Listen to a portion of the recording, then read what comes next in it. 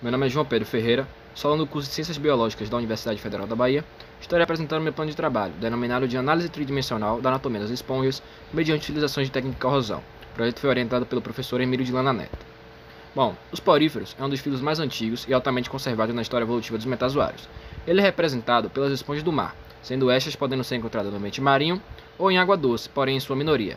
Atualmente, existem cerca de mais de 8 mil espécies catalogadas desses animais. Além disso, vale ressaltar seus vários papéis ecológicos, dentre eles a sua utilização como bioindicadores de qualidade de água e a utilização de seus metabólitos secundários pela indústria farmacêutica para a produção de fármacos, como antifúngicos e anticancerígenos. Vale destacar nesses animais seus hábitos filtradores, que através deles eles conseguem obter seus nutrientes suficientes para a sua existência. Porém, tudo isso é possível devido à presença do sistema aquífero. Meu nome é João é fundamental para a existência da esponja.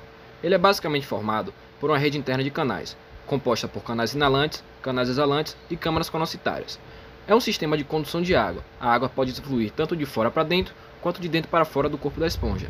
É através desse sistema a esponja consegue filtrar as partículas que estão em suspensão na coluna d'água, retirando assim seu alimento e sua fonte de energia. Bom, atualmente em literatura são descritos cinco tipos de sistema aquífero, cada um com uma configuração diferente. Esses sistemas são o asconoide, o ciconoide, o sileibide, o leuconoide e o solenoide. Cada um varia de acordo com a posição filogenética da espécie da esponja, e a complexidade reflete justamente na eficiência de cada um.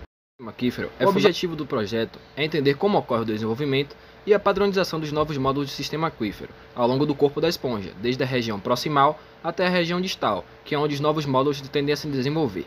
Dentre os objetivos específicos, variam desde a coleta até o processamento das amostras das espécimes, até mesmo a comparação em diferentes níveis.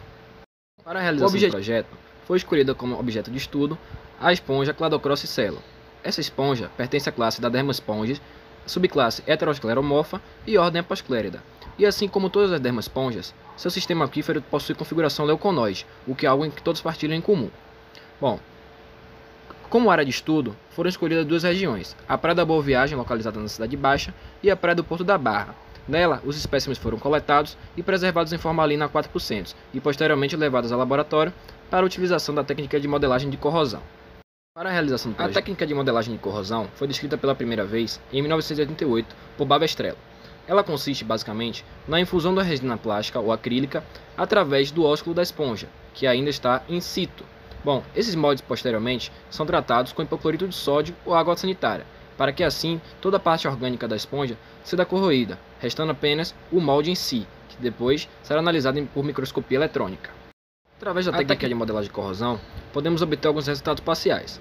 Através dos modos obtidos, podemos observar grandes aglomerados de câmaras conocitárias ao longo de todo o corpo da esponja, que vão desde a região proximal até a região distal, onde ela está em crescimento. As câmaras conocitárias podem ser vistas em todas as regiões. Por exemplo, nessa imagem A, que é a região do ósculo com átrio, podemos ver pequenos aglomerados de câmaras conocitárias, onde está sendo destacado. Na imagem B, a gente consegue ver esses aglomerados de câmaras na região distal do molde, onde está a zona de crescimento, basicamente onde novos módulos do sistema aquífero estão se desenvolvendo. Além disso, esses moldes nos puderam fornecer informações como a presença de outras, outras áreas do sistema aquífero, como a estrutura do canal exalante representada pela imagem C.